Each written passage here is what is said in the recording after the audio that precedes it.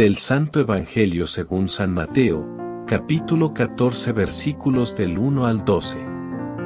En aquel tiempo, el rey Herodes oyó lo que contaban de Jesús, y les dijo a sus cortesanos, es Juan el Bautista que ha resucitado de entre los muertos, y por eso actúan en él fuerzas milagrosas. Herodes había apresado a Juan, y lo había encadenado en la cárcel por causa de Herodías, la mujer de su hermano Filipo, pues Juan le decía a Herodes, que no le estaba permitido tenerla por mujer. Y aunque quería quitarle la vida, le tenía miedo a la gente, porque creían que Juan era un profeta. Pero llegó el cumpleaños de Herodes, y la hija de Herodías bailó delante de todos, y le gustó tanto a Herodes, que juró darle lo que le pidiera. Ella aconsejada por su madre, le dijo, dame sobre esta bandeja, la cabeza de Juan el Bautista. El rey se entristeció, pero a causa de su juramento, y por no quedar mal con los invitados, ordenó que se la dieran, y entonces mandó degollar a Juan en la cárcel. Trajeron pues la cabeza en una bandeja, se la entregaron a la joven, y ella se la llevó a su madre. Después vinieron los discípulos de Juan, recogieron el cuerpo, lo sepultaron, y luego fueron a avisarle a Jesús. Palabra del Señor, gloria a ti Señor Jesús. Reflexión.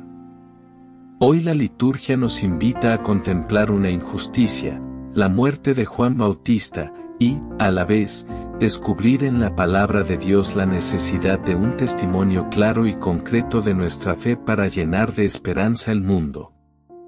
Así lo definía San Juan Pablo II, en su exhortación apostólica a la Iglesia en Europa, con toda la Iglesia, invito a mis hermanos y hermanas en la fe, Abrirse constante y confiadamente a Cristo y a dejarse renovar por Él, anunciando con el vigor de la paz y el amor a todas las personas de buena voluntad que, quien encuentra al Señor, conoce la verdad, descubre la vida, y reconoce el camino que conduce a ella.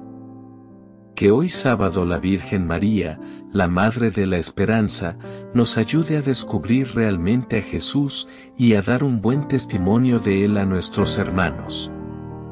Recuerda, humanizando tu alma, buscas y encuentras a Dios. Oremos juntos. Bendito, alabado y adorado sea Jesús en el santísimo sacramento del altar. Sea para siempre bendito, alabado y adorado recibamos la santa bendición con Jesús Eucaristía. En el nombre del Padre, del Hijo y del Espíritu Santo. Amén. Humanizando tu alma, buscas y encuentras a Dios.